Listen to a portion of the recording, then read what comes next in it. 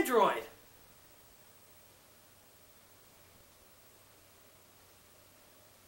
Yes, Anthony. Listen, we have a real problem. I gotta go pick up Jay. I guess he's been arrested again or something. Um, do you think you and Bayou Betty could possibly introduce Couch Critics this week? We won't be long. No problem. I was also programmed to review movies from the 80s 90s, and the future. You can always count on Mandroid. I knew I could. See ya. Hello. I am John, the Mandroid. And I'm Bayou Betty. We are here at the request of Anthony Stuart and Jay Rodding to tell you a little bit about our movie, The Eliminator.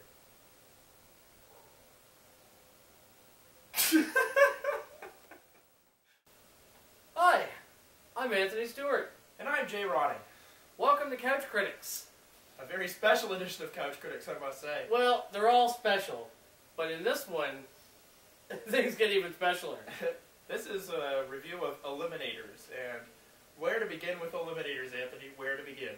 Oh God, uh, pretty much anywhere. Eliminators is a is a movie uh, taking place now. Uh, the main character is well half man, half machine, uh, a cyborg, so a mandroid. That's right. He's, Uh, no, he's not just an android. He's a mandroid. Right. He's joined by a mercenary, a ninja, and a scientist to make a pretty unlikely quartet. Uh, They are an unlikely quartet. I, I do like also that the mandroid's name is John. I think that that's a nice little touch. You know? John, well, John Doe. I think it's kind of like, he was found in a plane crash, um, and then there was kind of an experiment on him. The, So. the mandroid himself actually looks pretty much like the Terminator, Arnold Schwarzenegger. So the John reference might be a reference to John Connor. I know. gonna have to disagree with you there. I really, I know you were you were very oh look it's the Terminator, but I couldn't help but think the whole time RoboCop. Um, Well, there is a RoboCop. There's Masters of the Universe is in there too. A little bit Yeah. of Masters of the Universe. well, yeah, with that because he could remove his arm. Yeah. Uh, Maybe we should get everybody everybody context of how on earth all of these crazy kooky premises come into one blender mix of movie all right. entertainment. Well, let's uh, let's go to a clip and we'll just show a few of the main characters in a little in a, in a whirlwind montage. Yes, let's do that. No! No! Harry Fontana. King of the Wild Frontier.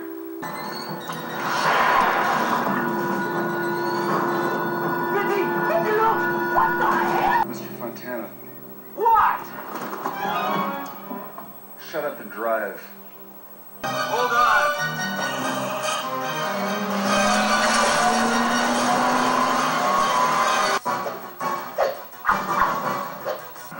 They killed him. Well, that pretty much says it all. Uh, you know, these clips that we show, uh, we usually say they don't summarize the whole movie, but literally with Eliminators, every five minutes, not only is it a whole new plot direction, but there's all new characters, all new crazy uh, sce- scenery. Lasers, Neanderthals. Yes, there's Neanderthals. I fully expected to see a giant fake dinosaur foot come down at one point. Actually, Well, there was a point where we actually, because there's time travel in this movie, it could have happened. It literally could have happened. You never know. Okay, so all right, here's a here's a brief the brief rundown. Eliminators.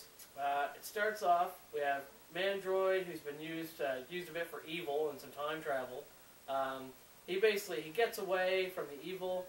He meets up with his team, his compatriots, Mm-hmm. um, all along the way on a one big giant Mandroid swamp bayou adventure. um, right along then he meets Bayou Betty and her crew. Mm. Uh, Well, now, don't rush into things here. Bayou Betty. We gotta have just a little moment for Bayou Betty. bit of, a bit of a love interest of yours. I gotta say, Bayou Betty is, of course, whom I have my plaid shirt on in, in honor of.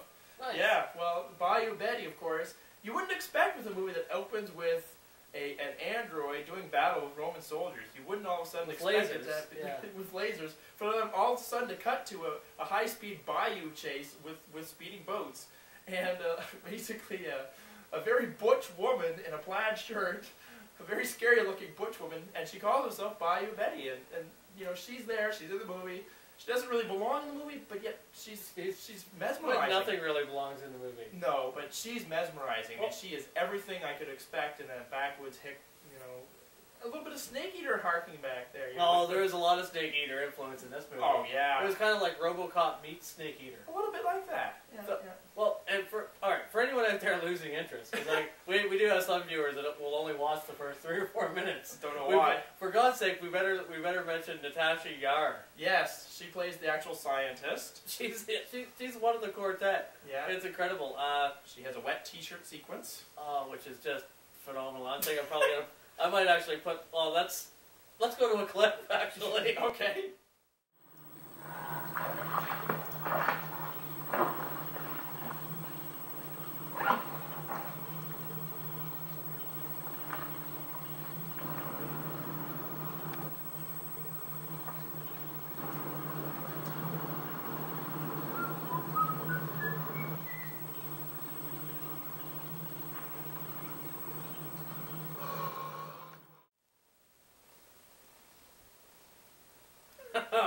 Sweet, sweet. I, I don't know how it got queued right up to that. There is no coincidence. Your, your VCR must have some sort of auto track. Oh, it, it's To been programmed that way, Anthony. It's been programmed It that way. seeks out Natasha Yar. It's no coincidence she got a major role on Star Trek: The Next Generation a year after this movie was You out. know, it's funny because Natasha Yar goes to the next generation after this movie. Oh yeah. Years later, who do we see?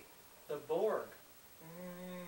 There is a Borg tie-in for sure there. I, I totally agree. Gee, Mandalorian. Roddenberry, I'm so onto you. Well, let's go one step or further. onto your estate. One, let's go one step further, Anthony. One of the characters' names is Fontana, and as we know, Fontana is one of the creative forces behind Star Trek. So there you have it. There's no, there's no coincidence in any of this. Con- con- conspiracy alert! Oh, conspiracy alert!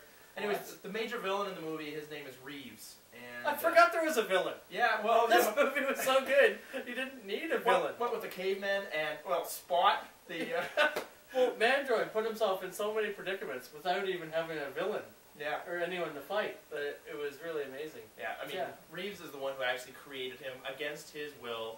You know, that wasn't what he wanted. He, he wanted to be a human, and he actually, at one point, uh, Mandroid manages to switch off the mechanical side of his brain and just be on human Yeah, autopilot. and some would argue that meant he was only using half his brain, which might have been why he was almost useless in the film.